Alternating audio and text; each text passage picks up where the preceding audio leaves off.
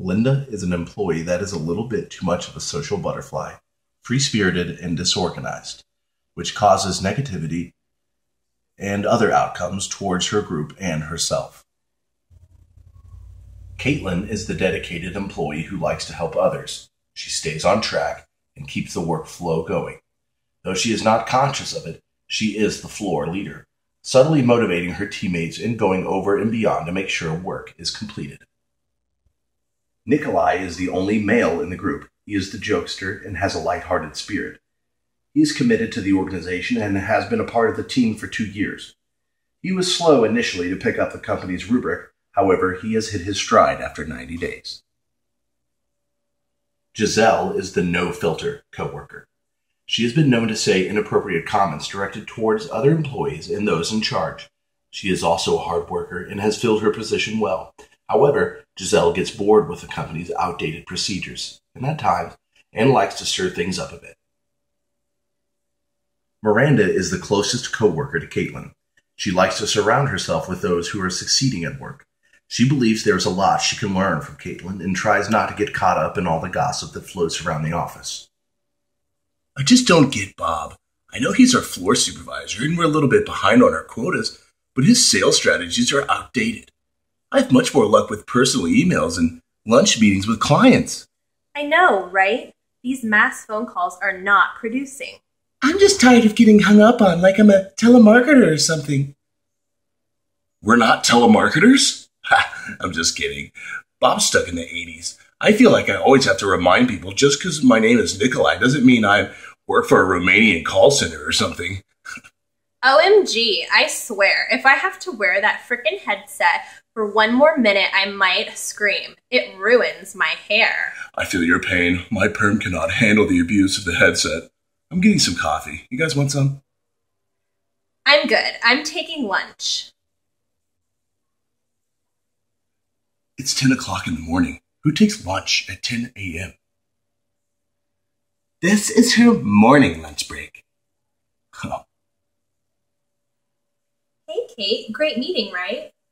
We just have to buckle down. I think if we pursue our new contacts and website leads more heavily, we can land more policies quicker. Our phone traditional callbacks are not producing like we need them to. Oh, by the way, Melinda took lunch. Are you serious? It's 10 a.m. Nick said he's having some success with the email and social media contacts. Maybe we could. I know, I know, we can't. Bob doesn't want us to work like that. What does it matter if we land the policies? Bob is focused on organizational structure and satisfying the hierarchy when he should be focusing on changing form- formalization and the system we use so that we look more like a team that uses pool, pooled interdependence have you brought this up to Bob?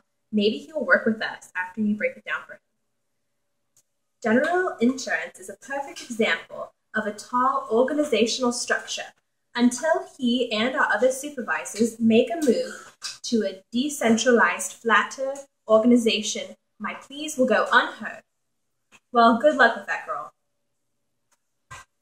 Good luck with what? Does Kate have a date? No, Nick. Go back to work. Yes, ma'am.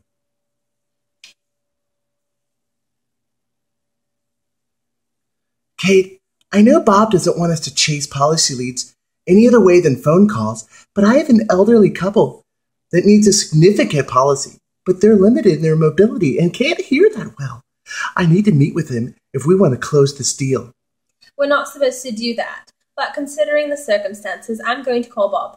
Meanwhile, Miranda and Giselle, I need you to get on the phone, and if you can pick up Melinda's calls too, we can't fall behind. Um, Okay.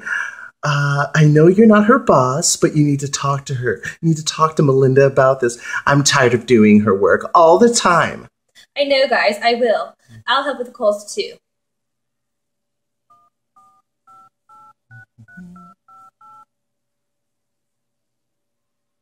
Mm-hmm.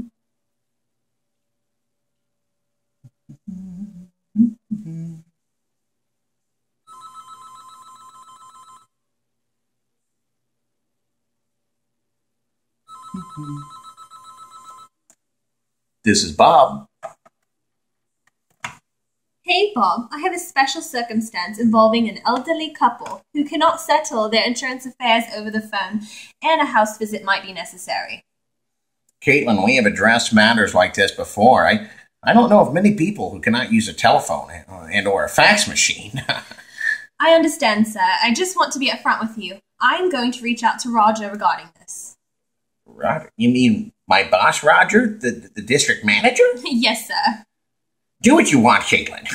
He's going to agree with me. Okay, sir. Thank you for your time. Have a wonderful day. Goodbye.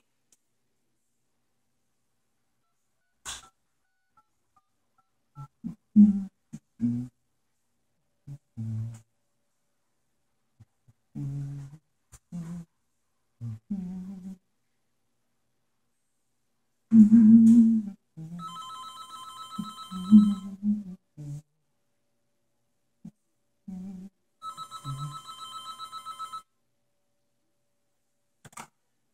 This is Roger.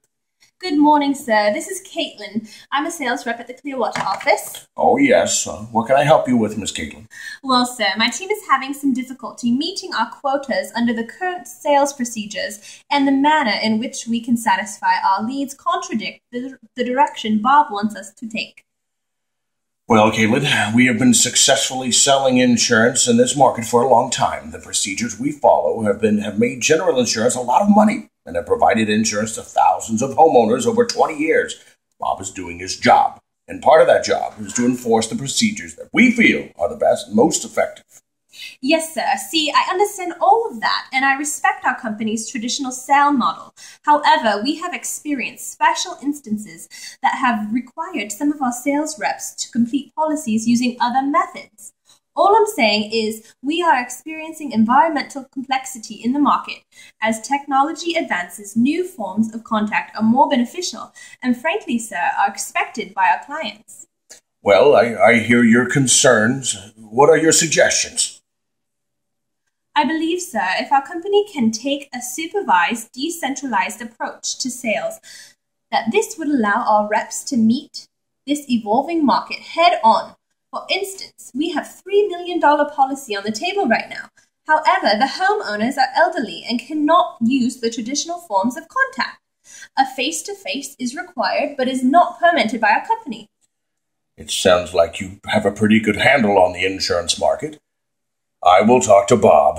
Send a rep out, a rep out to meet these folks. I don't want them waiting. Good work, Caitlin. I'm glad you called me. I want you to get hold of my secretary and schedule a meeting. I want to talk to you about your future, Hera, here at General Insurance. Yes, sir. That sounds great. I will set it up. Thank you so much, sir. Have a wonderful afternoon. You as well. Goodbye. Bye bye.